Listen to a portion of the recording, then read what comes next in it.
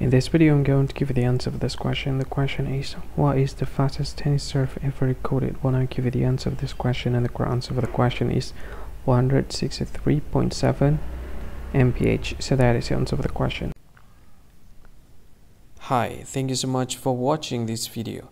If you find this video is very useful, you can help this channel to grow by subscribing this channel.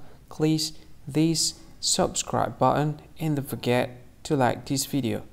And if you find this video is not really good or you don't really like this video or you kind of feel that it's a little bit offensive or something like that, you can click this one, dislike button. You can do that anyway and if you want to share this video with your friend you can share it by clicking this share button and you can share it to any any social media that you wish that is currently available at this time like Facebook, Twitter, LinkedIn and many others right?